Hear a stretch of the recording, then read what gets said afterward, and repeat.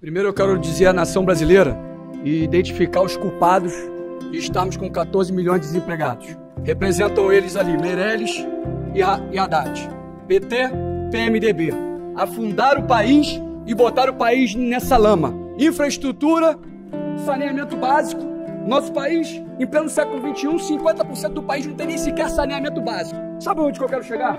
Eu quero chegar que a arma do cristão é a palavra de Deus. Essa aqui é a Bíblia. Bíblia é a arma do cristão. O que, que ela fala? Não estou falando de religião, não, tá? Não prego religião. Estou falando de amor. Primeiro mandamento: amar a Deus acima de tudo e de todos. E o teu próximo como a si mesmo. Pô, vamos aprender um pouquinho, vai visualizar o que o povo está acontecendo, não dá para entender. Da próxima vez eu vou trazer um óleo de peroba aqui. Para onde glória de Jesus? População, presta atenção. Saúde, educação, segurança. Muitos aqui estão mentindo para vocês. Vamos adorar o Senhor, vamos clamar o Senhor. No oitavo dia, compareço na unidade militar mais próxima da tua residência. A partir do momento aqui, eu vou te encaminhar para o mercado de trabalho. E se você tiver vocação, você vai cuidar das nossas fronteiras. Vai cuidar da nossa pátria, para honra e glória de Jesus. Fale para mim, irmão, sobre fundo eleitoral. Fundo eleitoral. Fundo eleitoral. Vamos dar sequência, por favor, plateia. Vamos ouvir o candidato. Glória a Deus. Eu peço à plateia, por favor, que não se manifeste. Obrigado, Senhor. E eu sei quais são os nossos adversários. Na autoridade que é no nome do Senhor Jesus, eu repreendo toda a fúria de Satanás contra a nação brasileira. Satanás, pega tudo que é seu e saiam da nação brasileira. E eu falo aqui que haverá paz, amor, sabedoria, discernimento, mansidão, domínio próprio. Mas acima de tudo, o teu Santo Espírito, Pai, sobre a nação brasileira. O Brasil que eu quero é um Brasil sem a dona Rede Globo pregando ódio, a mentira, hipocrisia e aprendendo a trabalhar com a Record, com amor e levando a palavra de Deus nas suas novelas.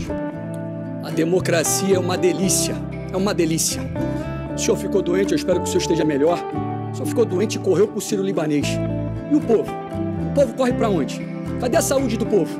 O povo está morrendo, o que os senhores fazem para o povo? Chega no momento político, os senhores sabem tudo, fala bonito, fala lindo, tem explicação para tudo, mas não muda nada. Nem lá no Ceará do senhor lá. Tem nada, mudança nenhuma. Fala, fala e nada acontece. Por que o senhor não foi para o hospital público também? Por que o senhor não foi lá onde o povo frequenta? O povo está sofrendo, o povo está morrendo. Por favor, na resposta. Eu não fui por duas razões. Primeiro, porque o médico que me acompanha e faz a prevenção estava operando e me pediu para ir lá onde ele estava e eu não estava de emergência. Mas eu já trabalhei muito, já pus para funcionar mais de 20 UPAs, já pus para funcionar mega hospitais regionais. O meu estado, Cabo da Ciolo, tem a menor mortalidade infantil. Quero agradecer em primeiro lugar a Deus pela essa oportunidade. Quero pedir à nação brasileira: desperta, ó tu que dorme. Desperta. O momento é de renovação, o momento é do novo. O momento é de transformarmos a nossa nação. Você que está pensando em votar branco, nulo e abstenção. Tivemos nas últimas eleições mais de 37 milhões de brasileiros que votaram branco, nulo e abstenção. Nos deu uma oportunidade. E eu quero aproveitar aqui todos que estão nos ouvindo, 200 milhões de brasileiros. Nós vamos ser eleitos, só eu quero fazer um ato profético. Eu estou profetizando para a nação brasileira. Eu vou ser o próximo presidente da República, para honra e glória do Senhor Jesus, em primeiro turno, com 51% dos votos. Você crê nisso? Sem fé é impossível agradar a Deus. Toda honra e toda a glória será dada para o nosso Senhor Jesus Cristo. Dizer a todos que juntos somos fortes, que nenhum passo daremos atrás e que Deus está no controle. Mulheres brasileiras, amo vocês. Os senhores são tudo amiguinhos. Os senhores estão fazendo uma batidinha agora jogando vôlei. Um taca a bola, o outro corta. Nós vamos vencer a eleição. Sou o próximo presidente da República com 51% dos votos para honra e glória do Senhor Jesus Cristo. A saúde você resolve rápido. Eu, já, eu vou responder, tá? Eu vou entrar na, na pergunta. Tô aguardando. As... E eu vou responder daqui a pouquinho. Quando fui presidente do Banco Central, criei as condições para tirarmos 40 milhões de brasileiros da pobreza. Qual a sua proposta para diminuir a pobreza no Brasil? A democracia é muito boa mesmo. Nós estamos agora diante de uma pergunta de um banqueiro para um soldado do corpo de bombeiro. É muito gostoso isso. Sabe o que é interessante? O interessante é que o senhor fez parte do governo do Lula, do, do, do Lula, um bom período. E o senhor, naquele período, o senhor fez algo muito interessante, muito importante para a nação. O senhor diminuiu a dívida externa. Foi grandioso, hein? Aquele passo. Só que naquele ano, a taxa de juro da dívida externa era de 4,5%. O senhor pegou dinheiro emprestado do, do, do, banco público, uma taxa de 18%. O senhor fez o Brasil ficar endividado a quatro vezes mais.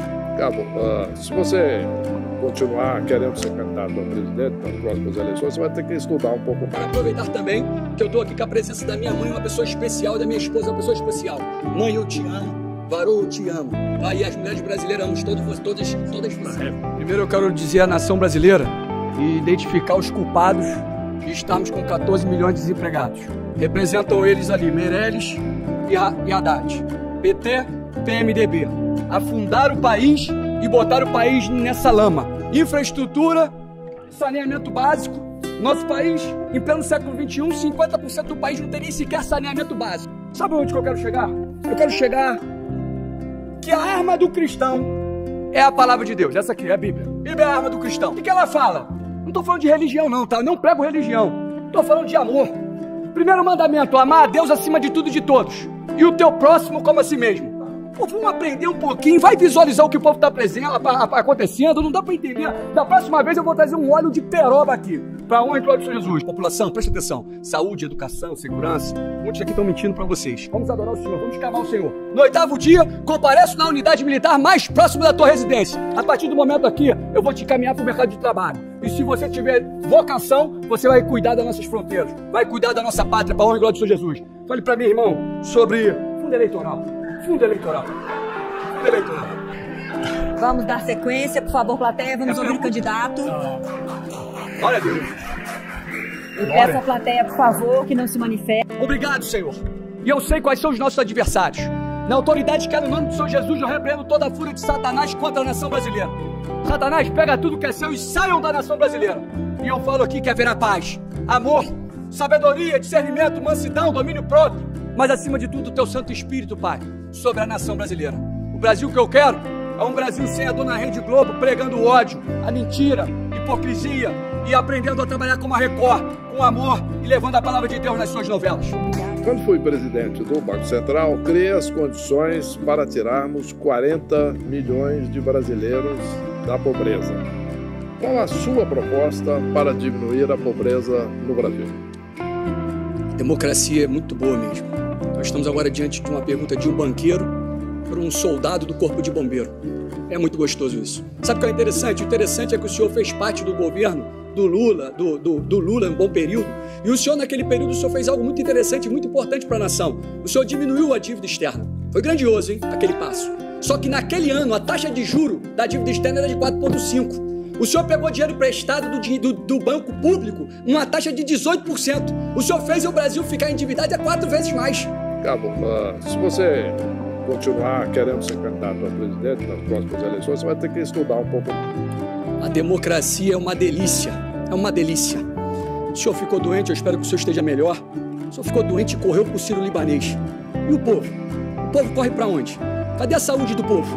O povo está morrendo e o que, que os senhores fazem com o povo? Chega no momento político, os senhores sabem tudo, fala bonito, fala lindo, tem explicação para tudo, mas não muda nada. Nem lá no Ceará do senhor lá. Tem nada, mudança nenhuma. Fala, fala e nada acontece. Por que o senhor não foi para o hospital público também? Por que o senhor não foi lá onde o povo frequenta? O povo está sofrendo, o povo está morrendo. Por favor, na resposta. Eu não fui por duas razões. Primeiro, porque o médico que me acompanha e faz a prevenção estava operando e me pediu para ir lá onde ele estava e eu não estava de emergência. Mas eu já trabalhei muito, já pus para funcionar mais de 20 UPAs, já pus para funcionar mega hospitais regionais. O meu estado, Cabo da Ciolo, tem a menor mortalidade infantil.